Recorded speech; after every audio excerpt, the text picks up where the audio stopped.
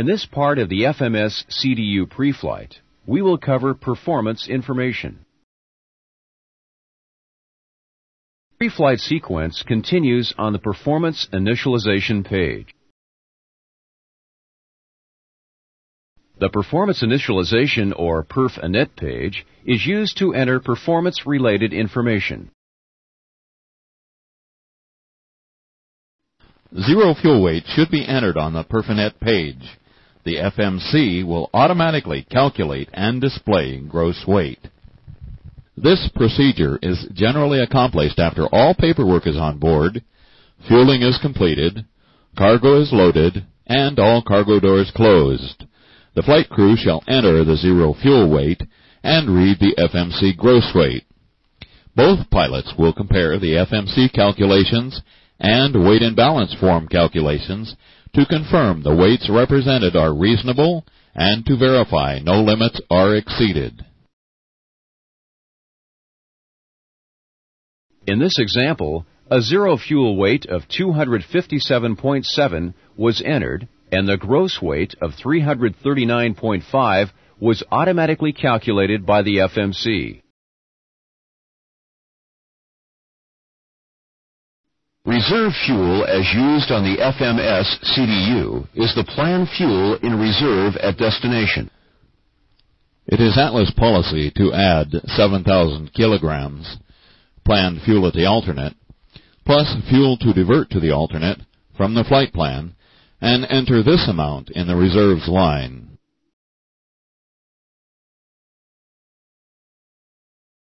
FMC message insufficient fuel is displayed if the computed fuel at destination is less than the entered reserves.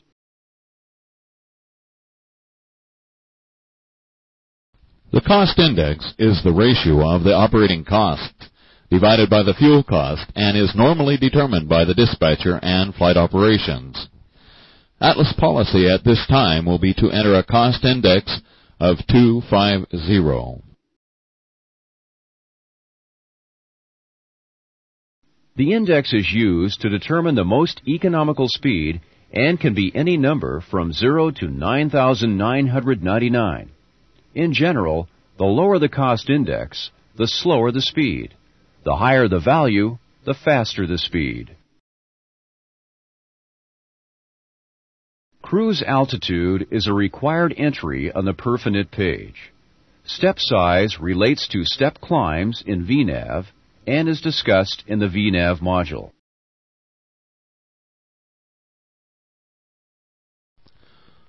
Question.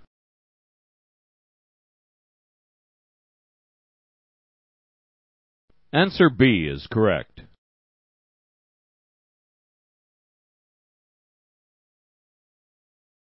Pre-flight sequence continues on the thrust limit page. Pushing the lower right line select key displays the thrust limit page. Thrust limit page is used to select desired takeoff and climb thrust limit. Default takeoff and climb thrust is full rated thrust. Select is displayed to the right of takeoff, TO, and arm is displayed to the left of climb, CLB. The selected thrust limit is displayed on the N1 title line. If other thrust limits are desired, line selecting takeoff 1 or takeoff 2 selects the respective thrust limit and arms the respective climb thrust limit. Selected thrust limit can be derated by entering an assume temperature in the select line. D is displayed to the left of the selected takeoff thrust limit, and thrust is reduced by the FMC. At this time, it is Atlas policy not to use assume temperature derate for takeoff performance.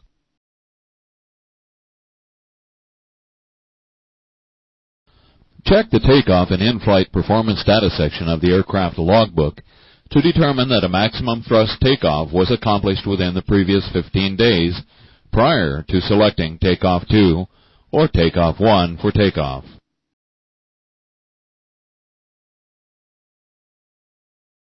The pre-flight sequence continues on the takeoff page.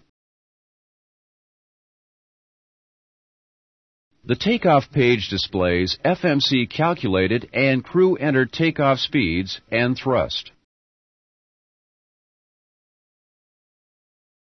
The V speeds for takeoff are automatically calculated and displayed on the takeoff page with flap setting entered and entries complete on the perf page.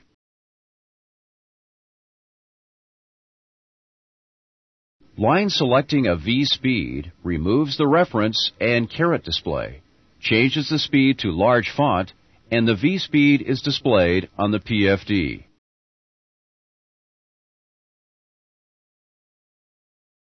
A takeoff flap setting of 10 or 20 is a required entry during the pre-flight sequence. Acceleration height can be changed by the flight crew.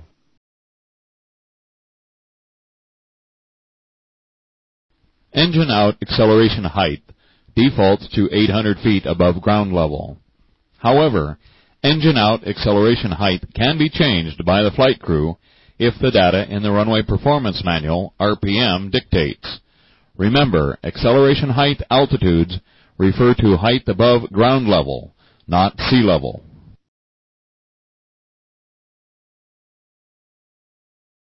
The thrust reduction point is either flaps 5 setting or an altitude and can be changed by the flight crew. The armed climb thrust limit is also displayed.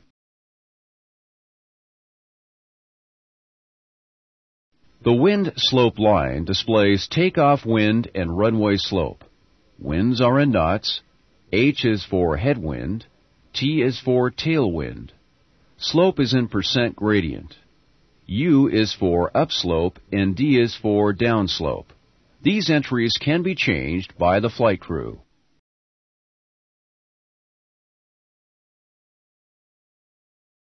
Atlas aircraft with the weight and balance system, WBS, Use values measured by landing gear sensors to calculate airplane gross weight and center of gravity. CG in small font is calculated by the FMC using the weight and balance system inputs. Line selected or pilot entered CG is displayed in large font. Dash prompts are displayed if required WBS inputs are not available. The trim field is blank until CG and gross weight is selected or entered. FMC computed trim is displayed in small font if within the stab trim green band range. Otherwise, the trim field remains blank.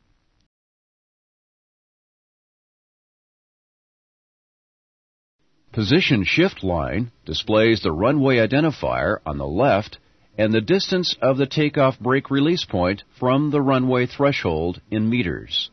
In this example, position shift is 700 meters.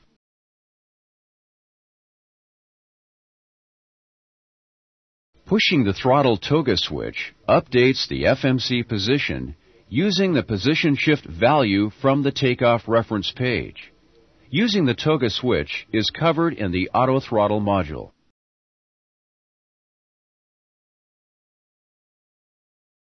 The pre-flight sequence is incomplete. Pre-flight will still be displayed on the takeoff page and a prompt below directs the crew to the unfinished page.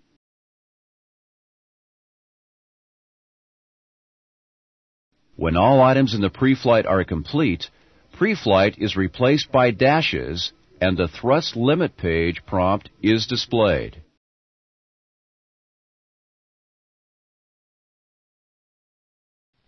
In summary, the FMS CDU pre-flight begins with the identification page. The lower right line select key is used to select the next page in the pre-flight sequence.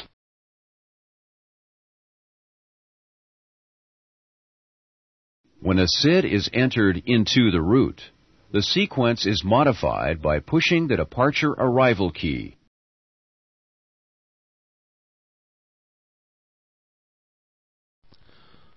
Question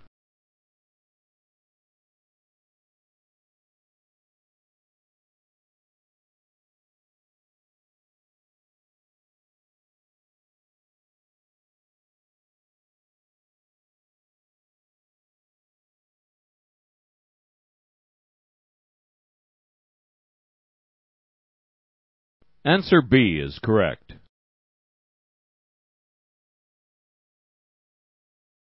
When all items in the pre-flight are complete, pre-flight will be replaced by dashes and the thrust limit prompt is displayed.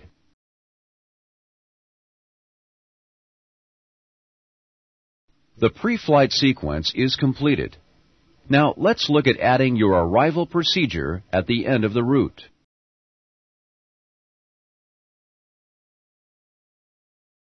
When airborne, pushing the departure arrival key displays an arrivals page.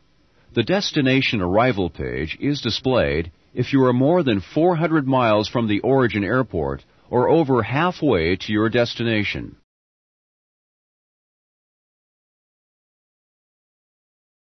When the DEPAR page is selected, approaches are illuminated on the right side of the CDU.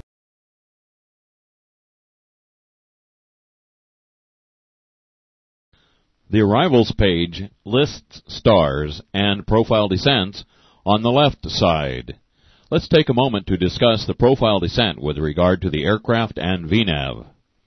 A profile descent is a calculated descent from cruising altitude to the last constraint in the descent known as the end of descent point, ED. There may be intermediate step-down fixes with speed and altitude crossing restrictions that must be complied with. The safest way to execute a profile descent is to use VNAV and monitor the arrival. If the flight crew elects to use vertical speed or flight level change, violations of restrictions are more likely to occur in these modes if the crew becomes distracted. Let's take a look at the proper technique for accomplishing the Civet 4 arrival into Los Angeles.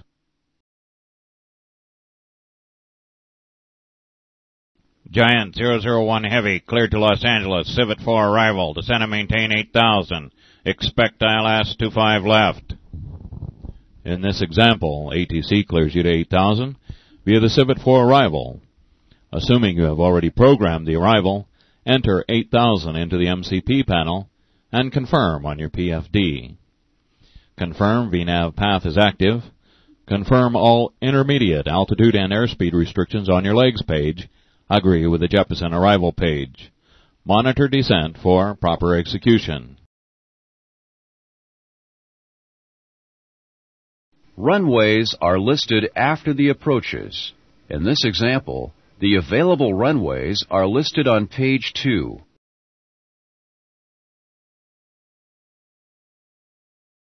Selecting a runway makes available the selection of the runway extension fix, a VFR approach, or an approach intercept to the approach fix or runway.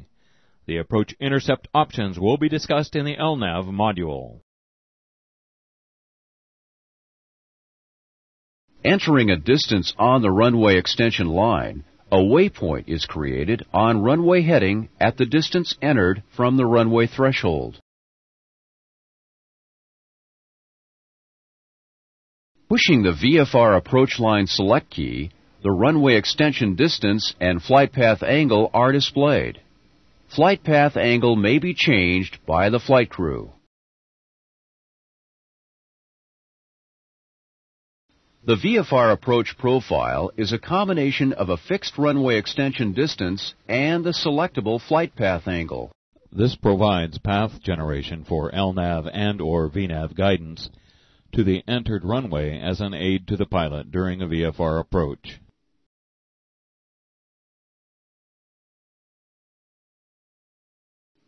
From the flight path angle, a descent path is created from 2,000 feet to 50 feet above the runway threshold. The flight path angle has a default value of 3 degrees, but can be varied between 2.4 degrees and 3.7 degrees by the pilots. To be on the safe side, the flight path angle should be kept within the Atlas Autoland margins of 2.5 and 3.25 degrees. The path then extends level from the intersection point at 2,000 feet above the runway threshold to a point 8 nautical miles from the runway threshold. This point is identified as the final approach fix.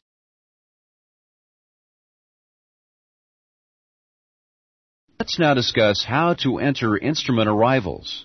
In this example, a Potholes 1 arrival to Moses Lake Airport with a transition from EPH.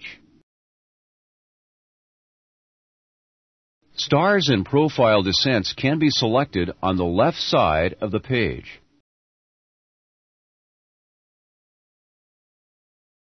Selecting an arrival displays the available transitions on the left side of the page.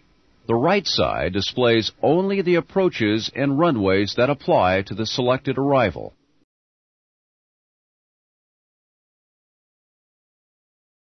Transition can be selected, in this example, EPH. Selecting an approach automatically incorporates the approach and runway in the route and displays the available approach transition points and approach intercepts.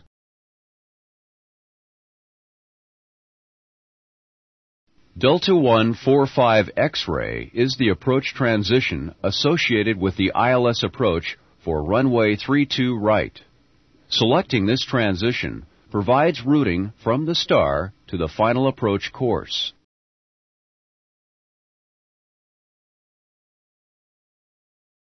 When the arrivals are executed and are part of the route, active is displayed.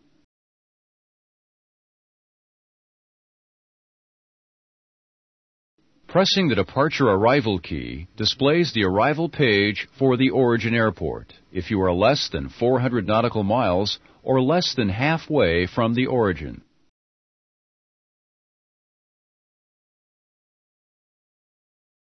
An index prompt is located on the lower left of all departure and arrival pages. Pressing the index line select key selects the departure arrival index. The index provides access to all departure or arrival pages for the origin and destination airports. Line selecting the appropriate key displays the selected page.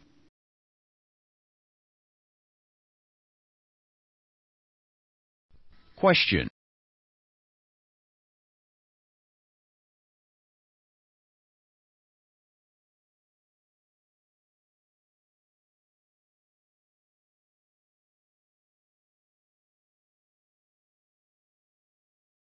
Answer A is correct. Selecting an approach automatically incorporates the approach and runway in the route and displays the available approach transition points. Now discuss the approach reference page. While in cruise mode, pushing the init ref key displays the approach reference page. The gross weight line displays the FMS gross weight and is used to compute VREF speeds. This value can be changed by the flight crew, but does not change the FMS gross weight. VREF speeds are computed for landing flaps 25 and 30. The flap setting and VREF speed for landing are entered on the flap speed line. The VREF speed entered on the flap speed line is displayed on the PFD. PFD displays are covered in the PFD module.